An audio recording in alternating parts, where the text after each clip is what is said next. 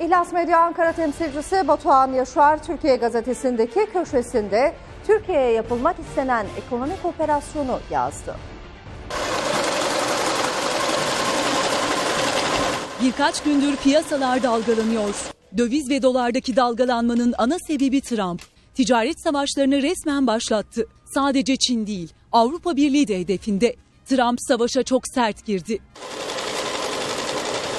Türkiye dışarıdaki gelişmelerden izole değil. Trump'ın ticaret savaşları Türkiye piyasalarını da derinden sarstı. İhlas Medya Ankara temsilcisi Batuhan Yaşar, Türkiye gazetesindeki köşesinde yazdı. Türkiye'ye ekonomik operasyon başlattılar.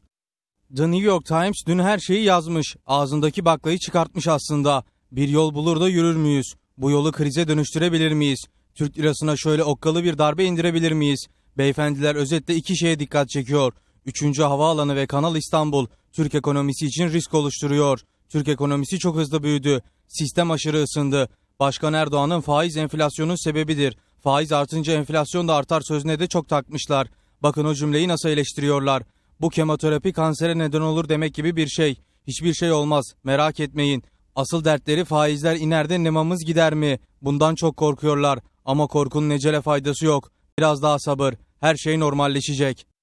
Ekonominin dümenine geçen Berat Albayrak görevi devraldığı an verdi mesajlarını. Mali disiplin, piyasa mekanizmaları işletilecek. Yapısal reformlar hızla gerçekleşecek. Yaşar yazısında piyasalarda ortalığı karıştırmak için yayılan fısıltılara da dikkat çekiyor. Ekonomi Politikaları Kurulu'yla Maliye ve Hazine Bakanlığı'nın koordinasyon içinde olduğuna vurgu yapıyor. Yabancıların bir kısmının ikna olduğu görülüyor. Diğerleri iki gündür satıyor. Ne olursa olsun satıyor. Zarar ziyan önemli değil.